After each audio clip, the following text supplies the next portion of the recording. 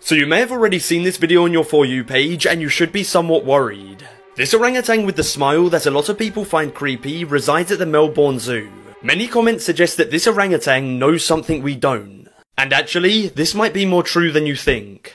To help the animals with the boredom of being in captivity, Melbourne Zoo have developed something called digital enrichment. This means the orangutans are now regularly using technology to solve puzzles, make music, and draw art. And as they become more aware of how we humans operate, who knows what they might try and do. Now comment what you think this orangutan knows that we don't.